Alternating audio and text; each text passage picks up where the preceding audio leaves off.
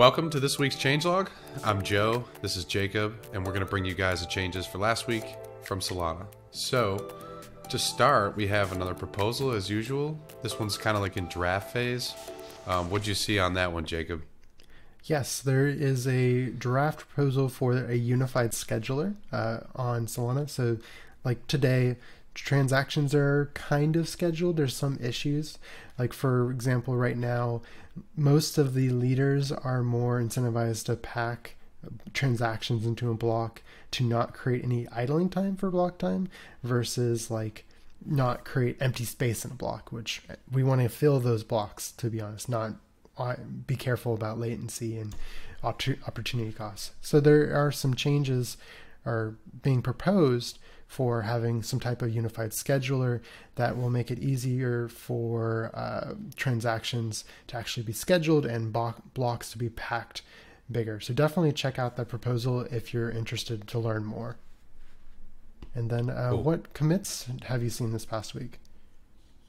Um, yeah, so I saw a little bit more work on migrating from BPF to SBF. So Berkeley Packet Filter, BPF that's what we started out using on Solana. Like that's what everyone's kind of familiar with. And there's actually a new implementation that has been around for a little while, the Solana binary format. And like engineers really want you guys to be using SBF. So like more and more changes are happening to a lot of the source.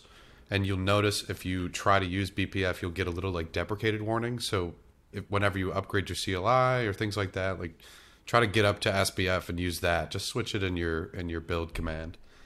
And then What's I the, also saw. Oh, sorry. What's the ahead. specific uh, build command that you usually run? Like, what does it look like, and what should what exactly does it change to? Yeah, so you typically will run cargo build BPF, and um, all you have to do is change it to cargo build SBF, and then like there's additional flags that people use sometimes, like manifest path, output directory. I think those are all relatively the same, but you can always just slap help, and, and like you'll be able to see what the differences there are. All right, cool. Yeah, and then the only other commit that I really saw was you know a little bit more support on the connection object for Solana Web 3 JS. Um, there's a get parsed block method now, so it'll give you a JSON parsed object back for a block. So pretty cool. How about cool. you? What commits did you see? I saw some things on the Explorer changes. Uh, so there's more support for displaying closed program accounts now. So previously, if a oh. program was closed, it just looked like an account via the Explorer, not giving you the information that it was actually a closed program. Um, so that is a change. Uh, they're also adding support for like the close instruction as well as the extend program instruction, which is very exciting in the future on the Explorer so that you can see those transactions.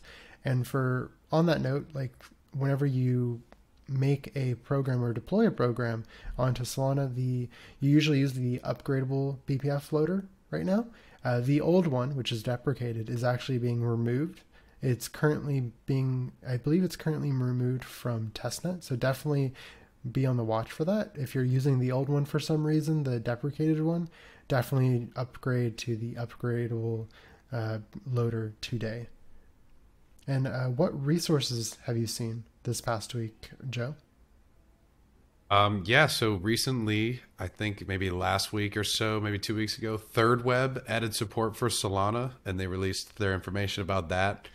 So Thirdweb is kind of like um, like a composability SDK provider. So they build a lot of like really cool SDKs to sort of like simplify a lot of your like development practices. So one example is they have like it's like a three liner to get like an NFT collection back, and you just kind of provide like a public key or whatever, you know, and it's real simple. So they have a lot of cool solutions like that. And they just introduced obviously Solana support. So there's going to be some interesting stuff you could do on Solana with Thirdweb. So take a look at that and um, we hope to see more from them in the future. Cool. Yeah, looking forward to seeing other tools that make life easier to build on Solana. Um, on that note, thank you for listening to today's changelog, where we go over the week by week changes on Solana. We'll see you next week.